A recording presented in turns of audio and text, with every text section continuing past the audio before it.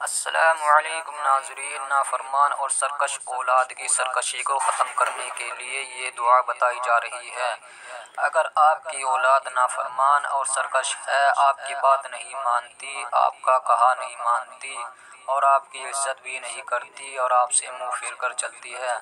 تو آپ یہ دعا پڑھا کریں۔ ہر نماز کے بعد پانچ بار انشاءاللہ اس دعا کی برکت سے آپ کی اولاد آپ کی ہر ایک بات مانے گی اور آپ کی فرما بردار رہے گی اور آپ کی عزت بھی کرے گی۔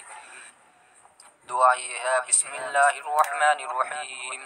وَأَصْلِحْ لِي فِي ذُرِّيَّتِي إِنِّي تُبْتُ إِلَيْكَ وَإِنِّي مِنَ الْمُسْلِمِينَ۔